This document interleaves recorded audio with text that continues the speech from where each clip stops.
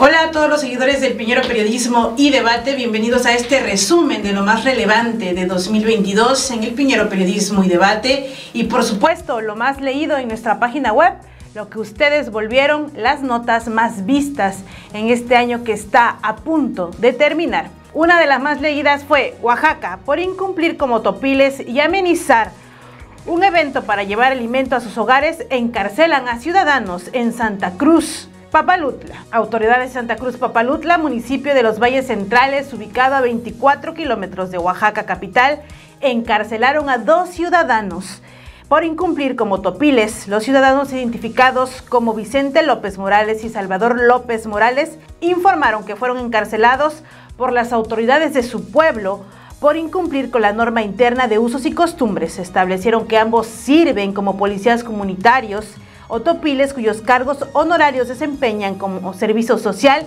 y que de vez en cuando se les retribuye con mil pesos. Esto fue de lo más comentado y leído por ustedes. De ahí continuamos con joven tuxtepecano y su novia son asesinados y desmembrados en Veracruz. Indignación, coraje y tristeza ha causado en Tuxtepec la confirmación de la muerte del joven José Francisco Holguín Carrera, quien fue asesinado junto con su novia de una manera cruel al ser levantado y posteriormente descuartizado, cuyos restos fueron tirados en bolsas a un costado de la pista Orizaba-Puebla. José Francisco tenía 30 años y fue secuestrado el pasado 16 de junio junto a su novia de 21 años, Paola Itatí Hernández García, originaria de aquella región veracruzana. Ambos fueron sacados con lujo de violencia por un comando armado cuando estaban en casa de ella. Continuamos con una nota más de lo más leído en el Piñero Periodismo y Debate. Terrible accidente en el centro de Tuxtepec. Un varón pierde un pie. Un fuerte accidente automovilístico dejó sin el pie izquierdo a un joven repartidor en motocicleta que conducía a exceso de velocidad y llegó sin precaución al crucero de la avenida 20 de noviembre y la calle Morelos, en el centro de esa ciudad. Vecinos relataron que el infortunado circulaba sobre la calle Morelos y desde la cuadra anterior venía pitando para pasar rápido sin darse cuenta que un vehículo compacto con placas de Baja California ya estaba por avanzar sobre la avenida 20 de noviembre a la altura del banco. Aunque al principio la imagen parecía no tan fuerte y el mismo joven no se quejaba, al acercarse al reportero del Piñero Periodismo y Debate, se dio cuenta que el motociclista prácticamente tenía el pie deshecho. Otra de las notas que ustedes volvieron popular y de lo más leído en nuestro portal web www.elpinero.mx fue Cártel Jalisco se graba ejecutando a un comerciante en pleno mercado. Un escalofriante video circuló en redes sociales donde se observa la ejecución de un líder tianguista a manos de sicarios del cártel Jalisco Nueva Generación en Celaya, Guanajuato. El hecho ocurrió el pasado 13 de junio, alrededor de las 12 del día. De acuerdo con medios locales, la víctima fue identificada como Jeremías N., persona de la tercera edad. Y otra de las notas, eh, ya del corte un poco político y de algunos temas que tenían que ver claramente con los expresidentes de ese país, fue se apaga el foco de la empresa Iberdrola en México. El Centro Nacional de Control de Energía desconectó los centros de carga de 11 establecimientos fiales de Iberdrola, los que en años han sido beneficiados por la ilegal figura de autoabasto de energía eléctrica. Entre estos establecimientos se encuentra Enertec, desconectada en septiembre pasado, una planta de dulces ubicada en Pesquería Nuevo León, Dulces Nombre 2, parques ecológicos ubicadas en Oaxaca, Pier 2 en Quecholac, Felipe Ángeles en Puebla, Cogeneración Bajío, Energía del Golfo, Energía La Laguna y Cogeneración Altamira, entre otras. Una de las notas que usted más viralizó y más leyó en nuestro portal web, aunque apareció a finales de 2022, fue cuando reporteros de Televisa descubrieron la venta de niñas en el municipio mazateco de Jalapa de Díaz. El pasado martes 11 de octubre, el noticiero En Punto de Televisa presentó un reportaje en el que documenta una red de trata de niñas en Jalapa de Díaz, municipio de la región de la cuenca del Papaloapan. En ese trabajo se exhibió además la negociación de una niña de 14 años y a sus presuntos embajadores negociantes. A decir del reportero Víctor Valles, en cada comunidad de Jalapa de Díaz hay sujetos identificados como embajadores negociantes entre la familia de la menor y el comprador. En el caso documentado se entrevista a un embajador que dice conocer a decenas de padres dispuestos a vender a sus hijas menores de 12 y 15 años generalmente. Esto causó también indignación a nivel nacional. Y otra vez, Tuxtepec volvió a ser de lo más leído en nuestro portal web. Asesinan al tuxtepecano Erasmo Vázquez Michel. Su familia lanzó una alerta para localizar a una joven presunta autora material del homicidio. Vázquez Michel tenía 27 años de edad cuando fue privado de la vida y dormía mientras fue atacado.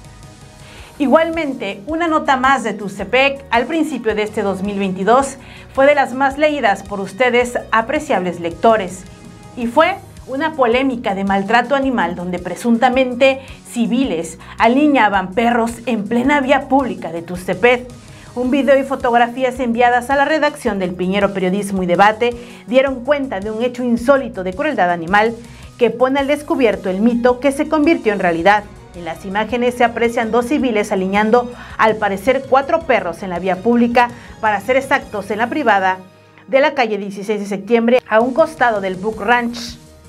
Posteriormente a esta nota, muchas personas como ustedes también comentaron en nuestras redes sociales que se podía tratar de algunos chivos, algunos borregos, pero al final no hubo confirmación de nada.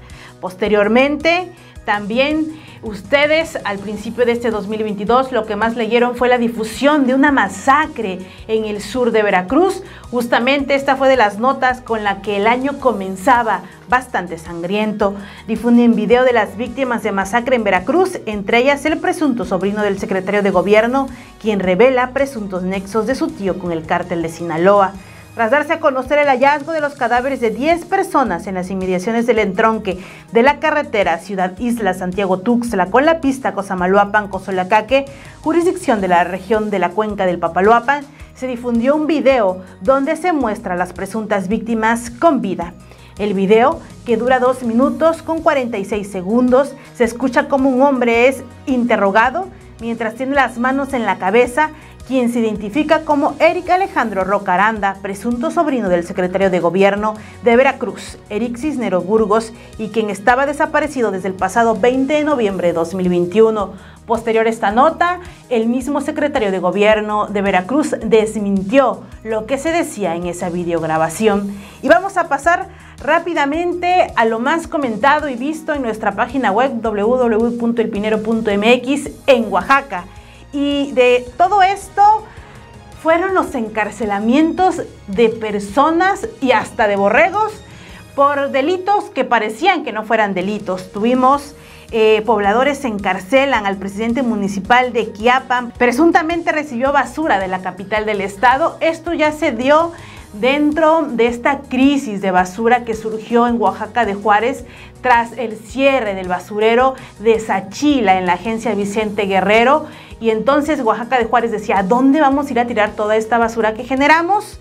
Y el presidente municipal de Tilquiapan dijo, pues tráiganla para acá, a su gente no le gustó y que me lo meten al bote.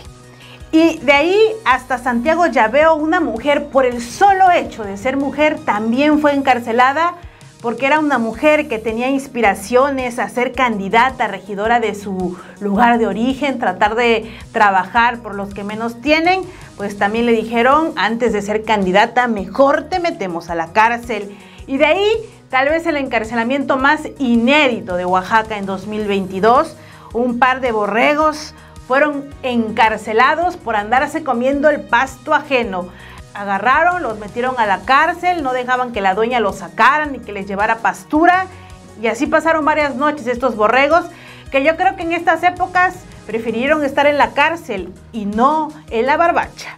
Vamos a continuar ahora con otra vez una inquisición del PRI. En Pueblo Viejo encarcelaron a pescadores por no apoyar al partido Pareciera que estamos en los 70, en los 60, donde si no eras priista prácticamente no eras nada, te borrabas de la vida pública o eras un apestado en tu colonia y en tu municipio y así fue como dos pescadores también fueron a parar al bote por no ser priistas en pleno 2022.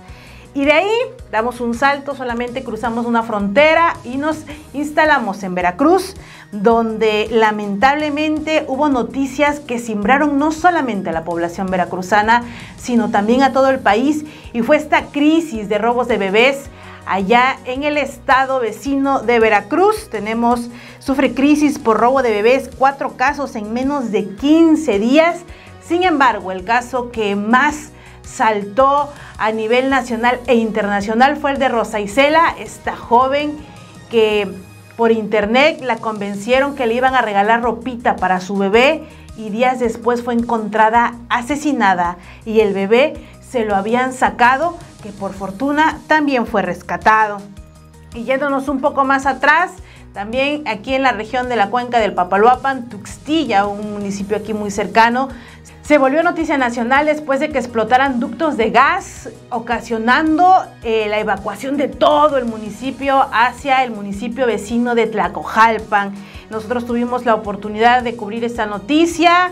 Eh, era una eh, calma tensa en el municipio de Tuxtilla donde se podía ver la gran llama o las llamas a uno o dos kilómetros de distancia. Por fortuna, oficialmente no se reportaron eh, muchos muertos, solamente uno si no mal recuerdo, y es parte de lo que también se vivió en Veracruz.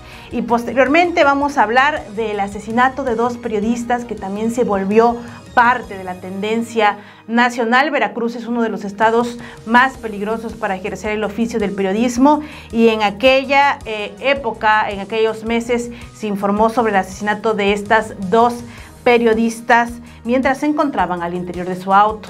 Esto es parte de lo que se vivió en la web del Piñero Periodismo y Debate. Ustedes ya saben www.elpiñero.mx y es parte de uno de los cuatro resúmenes que les presentaremos en esta recta final del 2022. Yo soy Yolanda Portugal, en producción tenemos a Emanuel Fentanes y le agradecemos su preferencia.